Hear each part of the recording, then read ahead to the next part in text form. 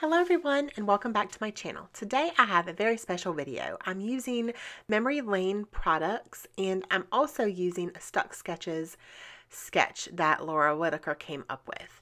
So I am super excited to use this sketch and I'm also super excited to use this collection from Memory Lane. So I am using the grid paper, the 12 by 12 grid grid paper, excuse me, and this cut apart sheet that has cut apart strips. And um, I'm cutting apart some of the strips and I'm going to use those because in this sketch it had strips of paper. So I thought that this paper was perfect for that. That's why I wanted to go ahead and use this um, collection as well as this sketch in this same um, video. So you're getting a two for one. um, brand new products and also a brand new sketch. So I'm super excited about that. So I cut all of these apart and they're all 12 by 12. So I'm going to trim them down so not all of them are the exact same length. Um, some of them are thinner than others, some of them are thicker. And um, in the sketch, I know that she had different like um, borders. So some of them had scalloped edges, and I decided just to leave them straight the way they are. And I'm also going to pull out some of these six by six papers. I'm going to pull out these two. I like the contrasting colors that they brought. Um, and they were um, not the same as the other strips that I previously cut apart. So those are the papers that I am going to go with. I think in the end, I'm actually going to pull out or cut apart a couple more pieces. Um, and the photo that I have is a picture of my daughter Emily and I when we did face masks one night and we have our face masks on and she wanted to take a photo or a picture so I was like why not so I am going to go back to that cut apart and I'm going to use these cameras as one of the strips and then I'm also going to use this um, one with different words on it. It says think positive, different is good and it said something else on it, but oh, it said glitter, I think. I cut that part off, or no, I don't cut it off. I cover it up in the end. So those are the strips that I'm going to use, and I'm just layering them, and I'm kind of, I don't want them all going, I don't want them all the same.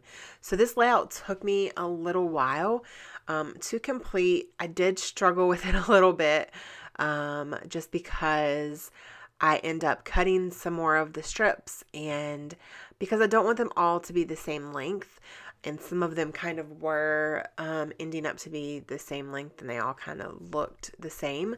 So I am going to cut those down a little bit more. I'm also going to use some of my craft foam to put on the back of this photo so it pops up off of the page. Because it has so many different patterns behind it, um, I didn't want to back it on another pattern paper and it also has a lot going on behind it. So I really didn't want to put it on cardstock because I didn't want to cover up too much of the pretty pattern paper and the embellishing that I'm going to do. So in the end, I just put it on um, craft foam to pop it up and it doesn't show in the picture, but when I do that, when I pop it up on craft foam or foam tape, it leaves a shadow behind the photo so it doesn't look flat on the on the page and it helps it give it some dimension. So I am going to take um, one of my gelatos. I pulled out two, but I'm into I end up only using one of them. And I'm going to do the smushing technique. I sprayed some water um, on it and I'm just going to put it because in the sketch it did look like she kind of had some mixed media going on. Um, on the page. So I decided to do that and bring it in. And it's really very light in the end. You see it, but it's not like this big whoa in your face kind of mixed media. It's just a little tad bit. And that's why I decided not to do the aqua color as well. I just kind of wanted to leave it really light and airy looking. And in the end, once it's completely dry, um, it's just real like, it just flows, I think. So I am going to hit that with my heat gun. And I will leave my links or my supplies below. I will leave them to Memory Lane Scrapbook Etsy store. Definitely head over and check her shop out. She's getting new products in, and she's got the Glitter Girl collection. She's got the new Paige Evans collection. Um, she's getting the Crate Paper um, Christmas collection, and um, her shop is just getting a lot of new things. So definitely head over and check her shop out. She um, also has given me a coupon code for you guys to use. So it's Heather10. I will leave that linked below as well. So you guys can get a 10% off your purchase, which is amazing. So I am going ahead and gluing all of my strips down or adhering them and with my ATG gun and I am I think after I glue everything down, then I'm going to trim some of the edges a little bit more because I feel like some of them are way too close to being the exact same um, size. So I am going to trim them just a little in certain places. So I like the way that that looks. Also, the pink polka dot at the very bottom, I'm going to end up taking that off because it was a little bit too small and I went for a, a completely different look. I wanted to put my title on that piece and it just way too small. So I'm going to cut another strip and use the same exact pattern. Um, but it's going to be much bigger. And I'm also going to cut it into like a banner, like a flag um, banner here fishtail banner. Is that what it's called? Yes, I believe that's what it's called. So that is much better. It's so thick, but it's going to be perfect for my title. So my title, I saw fabulous on the thickers, which these thickers are fabulous. They're beautiful.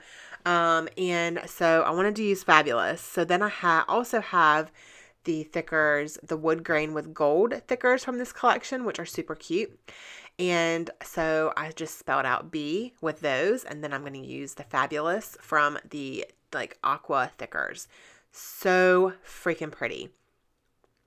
I love the way that these thickers look. The font is like beautiful, nice scripty font, and it's also glittery and they're foam, which is my favorite. And so these are amazing. So if you have not gotten these, if you've not picked these up, definitely head over and pick those up because they're super pretty.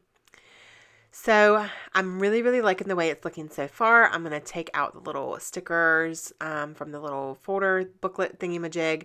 And I'm going to also pull out some of the ephemera and the buttons as well. So I'm going to use this tag from the ephemera pack. And in the sketch, it had a tag and it also had florals. So there is like a little floral sheet here from the sticker book, which is super pretty. Some of them have gold foiling on them, which is gorgeous and I'm going to use a couple of the stickers and I'm also going to use a couple of the little buttons. Um, now for me, I love the buttons, but I do not love that they're on pop dots. That does not make sense to me.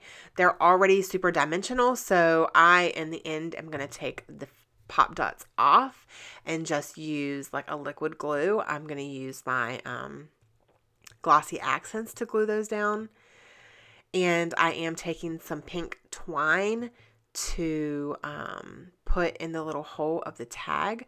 Now, I was going to try to tie a bow because in the sketch it had a bow on the tag, but I just didn't really like the way that it was looking. So I'm just going to let it hang there. Um, and so I'm really, really loving the way that this layout is coming together. It just, it just flowed. It flowed so nicely.